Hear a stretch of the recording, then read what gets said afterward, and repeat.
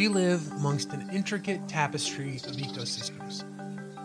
Dense, misty jungles, vast, arid deserts, ancient, sprawling pine forests, all interconnected, all with a story to tell. Understanding these stories helps us to understand our planet as a whole, how we affect it, and how it affects us. The scientific community has a wide array of methods and instruments to turn to when it comes to gathering data on Earth's surface, whether from the ground, the water, the air, or from orbit. The orbital perspective provided by satellites allows us to see our planet across the spectrum, both visible and non visible, giving us top down insight into the health of our forests, temperature fluctuations in our oceans, and the extent of glacial shrinking each year due to melting ice and snow.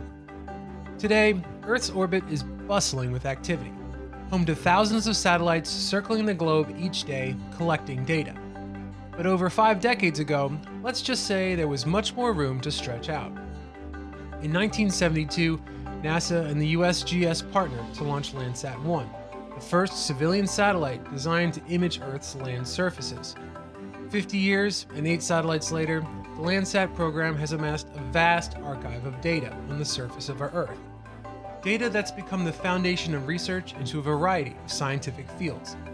From forestry to agriculture, wildlife conservation, and managing natural resources, Landsat's ability to look back across space and time and provide consistent, freely available data is an invaluable resource for public good. As useful as Landsat data is on its own, when combined with data from other instruments, such as NASA's GEDI mission, it can be a force to be reckoned with. NASA's Global Ecosystem Dynamics Investigation mission was launched in December 2018 and is the first NASA mission with the primary objective to measure forest vertical structure. Orbiting over 250 miles above the Earth on the International Space Station, GEDI uses LIDAR technology to record elevation and forest canopy structure data from the planet's surface. GEDI emits near infrared laser pulses towards the Earth's surface, and then measures the time it takes for the emitted light to bounce back after reflecting off objects, such as trees, shrubs, and the forest floor. By analyzing the returned laser signals, GEDI provides vertical profiles of forests and topography, a three dimensional snapshot of not just our forest's canopies, but also the terrain below, critical information for assessing biodiversity and overall forest health. And when paired with Landsat's ability to look back through time and space, GEDI's 3D vertical perspective can give us an even more detailed picture of our planet's forests. Researchers in Italy did just that, combining Landsat and GEDI data to study over 11 million hectares of forest across the Italian peninsula. Like all ecosystems, forests can be disturbed by a variety of factors, both natural and man made. Wildfires, avalanches, disease, and deforestation can all take a toll on a forest ecosystem. The research team combined over four decades of Landsat data with LiDAR data captured by GEDI and aircraft to not only map when forest disturbances across the peninsula occurred, but also what impact these disturbances had on forest biomass. Their results showed that following a disturbance, it took forests about 15 years to recover, much earlier than the researchers expected. As the climate continues to change, the frequency of these disturbances will be on the rise, which may have an effect on our forest's capacity to absorb carbon. Researchers believe that integrating data from different remote sensing sources, such as Landsat and GEDI, could give conservationists a leg up in predicting how our forests bounce back from adversity. The one constant on our planet's surface is change. Our ecosystems are perpetually evolving, and for the last five decades, Landsat has been in orbit tracking that evolution.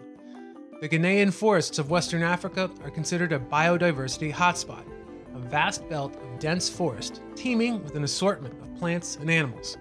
The largest intact tract of the Upper Guinean forest can be found in Liberia, where it plays a critical role in the country's economy.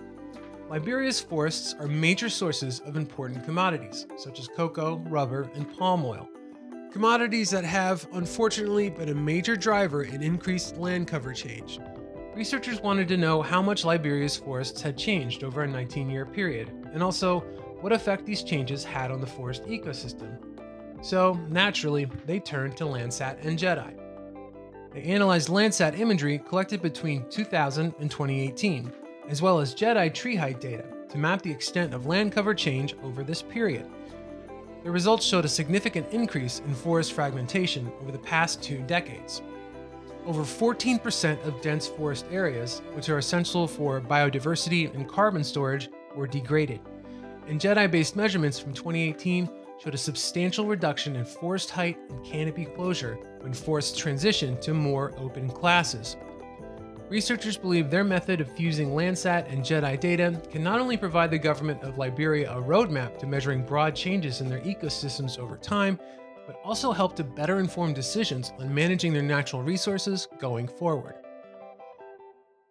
Wildfires are often a natural occurrence in forests worldwide, part of the forest's life cycle, helping to clear out old growth to make room for new growth. But increased drought and deforestation has, in turn, led to an increase in not only the frequency of wildfires, but also the severity.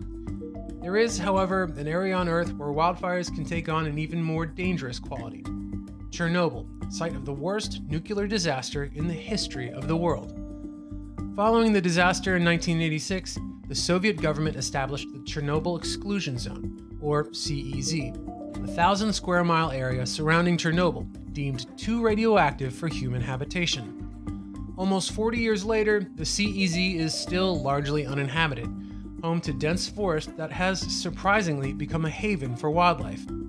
Like other forests, Chernobyl's forests too are prone to wildfires. Wildfires that can potentially release hazardous radiation into the atmosphere. Simulating wildfire behavior is a necessary tool for examining the efficiency of fuel treatments, such as controlled burns, but it requires up to date maps of both fuel types and canopy metrics, data not readily available for many areas in Ukraine, including Chernobyl. To make up for this dearth of information, Ukrainian researchers developed an approach for updating fuel maps using freely available Landsat and GEDI data. They fed Landsat data collected over a 12 year period along with GEDI data through a machine learning algorithm to produce an accurate map of fuel types and canopy metrics across the Chernobyl exclusion zone. Researchers believe that the union of remote sensing data from the likes of Landsat and GEDI could provide an effective method for updating fuel maps, particularly in radioactive areas like Chernobyl, where collecting fuel data can be both impractical and downright dangerous.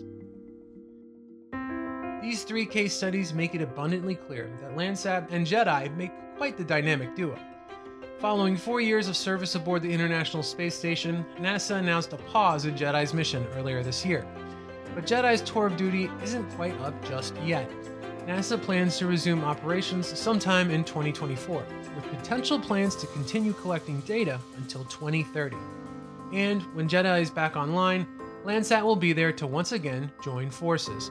The partnership between Landsat and GEDI isn't just about data, it's about our planet's future. From the dense jungles of West Africa to the gentle forested hills of Tuscany, Landsat and GEDI are helping us understand the complex relationship between humanity and nature, giving us a clearer picture of our planet's health and how we can better protect it, allowing us to see the forest with the trees.